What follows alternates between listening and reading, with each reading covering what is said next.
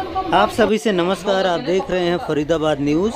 मैं धर्मेंद्र प्रताप सिंह, सेल्समैन को मार लगाकर कैश लूट ले गए बदमाश। ये वारदात फरीदाबाद राजीव कॉलोनी के एचपी पेट्रोल पंप पर हुई है। अभी कुछ देर पहले सूचना मिली थी, कुछ बदमाश पेट्रोल पंप पर आए और उन्होंने सेल्समैन को मार लगाई और काफ़ी कैश भी लूट ले गए। आप लोग देख रहे हैं, ये पेट्रोल पंप ऑफ़िस की वीडियो है। जहाँ पर सामान वगैरह बिखरा पड़ा है। पुलिस को इसकी सूचना दी गई है। देख रहे हैं आप लोग किस तरह से सामान बिखरा पड़ा है। पुलिस को सूचना दी गई है, पुलिस आएगी, उसके बाद सीसीटीवी वगैरह खंगाले जाएँगे और उसके बाद ही पता चलेगा ये बदमाशी किसने की है। फरीदाबाद न्यूज़ से धर्मेंद्र प्रताप सिंह, नमस्कार। नौ सबका छोटा